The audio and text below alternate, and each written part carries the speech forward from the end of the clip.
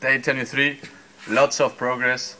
Uh, as you can see here, the thermocouple trees are on site already. Uh, the floor also has been, uh, the rock wool on the floor has been already fit. Uh, some heat flux gauges on the floor too. Cameras on the walls also. And uh, finally what we got is uh, pressure probes in, in position and pressure transducers, four of them, sorry, eight of them uh, wired. So positive day, everything cool.